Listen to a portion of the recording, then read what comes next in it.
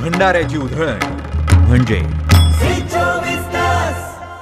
शिवसेनेचे ज्येष्ठ नेते अनंत तरे यांचं निधन झालंय. ठाण्यामध्ये त्यांनी अखेरचा श्वास घेतला. कोळी समाजाचे प्रश्न हिरिरीनं मांडणारे तरे काळाच्या पडद्याआड गेलेले आहेत.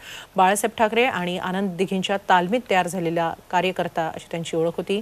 कोळी समाजात शिवसेनेचे पाय रोवण्यात त्यांनी महत्त्वाची भूमिका बजावली होती.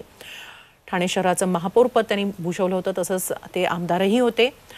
कोळी समाजाचे नेते अनंत तरे यांचं निधन झालंय. ठाण्यामध्ये त्यांनी अखेरचा श्वास घेतला. कोळी समाजाचे प्रश्न मांडणारे नेता म्हणून त्यांची ओळख होती. ठाण्यातील ज्युपिटर रुग्णालयात त्यांच्यावर उपचार सुरू होते. तिथं त्यांनी अखेरचा श्वास घेतला. ठाण्याचं महापौर पद त्यांनी भूषवलेलं आहे. तसंच बाळासाहेब ठाकरे आणि आनंद दिघे या दोन दिग्गज नेत्यांच्या तालमीत तयार झालेला कार्यकर्ता अशी त्यांची ओळख होती. ज्येष्ठ शिवसेना नेते अनंत तरे यांचं निधन झालंय. ताडोबातल्या वाघिणीची चाल म्हणजे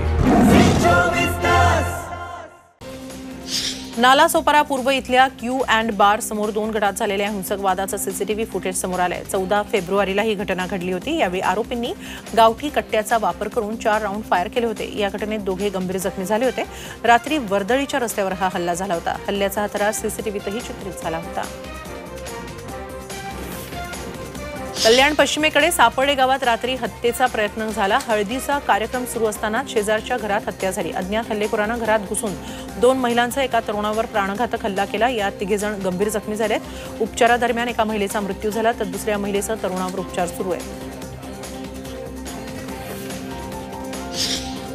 अमरावती शहरातून अपहरण केलेल्या चार वर्षांच्या मुलाची अहमदनगरमध्ये सुटका करण्यात आली आहे. स्थानिक गुन्हे शाखेनं ही कारवाई केली. अपहरणकर्ते शाईन गाडीवर मुलाला घेऊन नगरकडे जात असल्याची माहिती पोलिसांना मिळाली.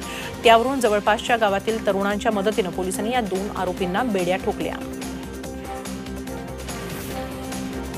पैनगंगा नदीपात्र वाळू माफियांनी पोखरायला सुरुवात केलेली आहे. दोन विभागांच्या सीमेचा फायदा घेत वाळू उपसा सुरू आहे. बोटीला परवानगी नसताना दहा बोट सक्शन पंप लावून बेसुमार उपसा केला जातोय. शिवाय जेसीबीनं देखील उपसा करण्याची परवानगी नसतानाही अनेक जेसीबी लावण्यात आलेले आहेत. यवतमाळ आणि नांदेड प्रशासन मात्र काहीच कारवाई करत नाही आहे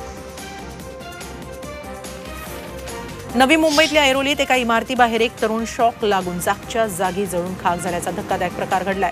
संबंधित प्रकार सीसीटीव्हीमध्ये चित्रित झालाय. एका इमारतीचं काम करण्यासाठी एक उंच लोखंडी घोडा उभा करण्यात आला होता. दुसरीकडे हा लोखंडी घोडा हलवताना त्याच्या वरती असलेल्या विजेच्या तारेला धक्का लागला आणि हा तरुण जागच्या जागी जळून कोळसा झाला. छत्रपतींचा विचार म्हणजे